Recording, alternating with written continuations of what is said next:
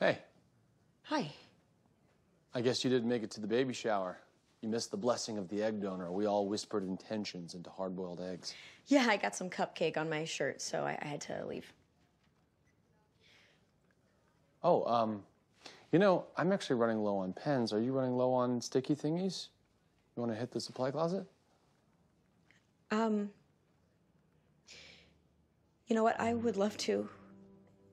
I really would, but I I can't. What?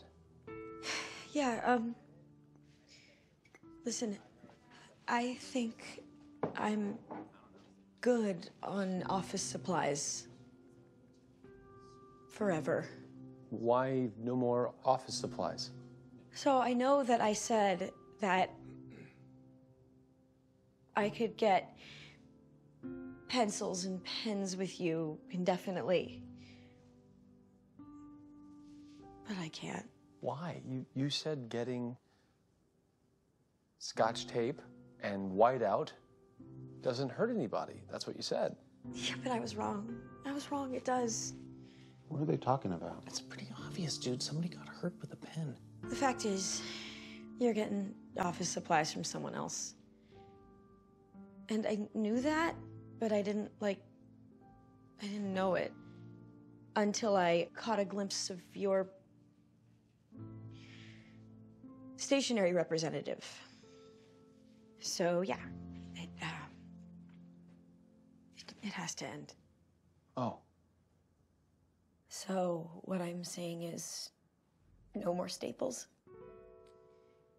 no more paper clips, no more spray cleaner for the whiteboards. wow. Okay. I understand. I guess we were just kidding ourselves when we thought we could get erasers and toners and index cards forever. I wish you all of the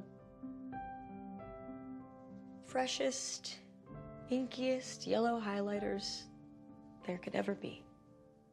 And not you. I actually prefer the pink highlighters.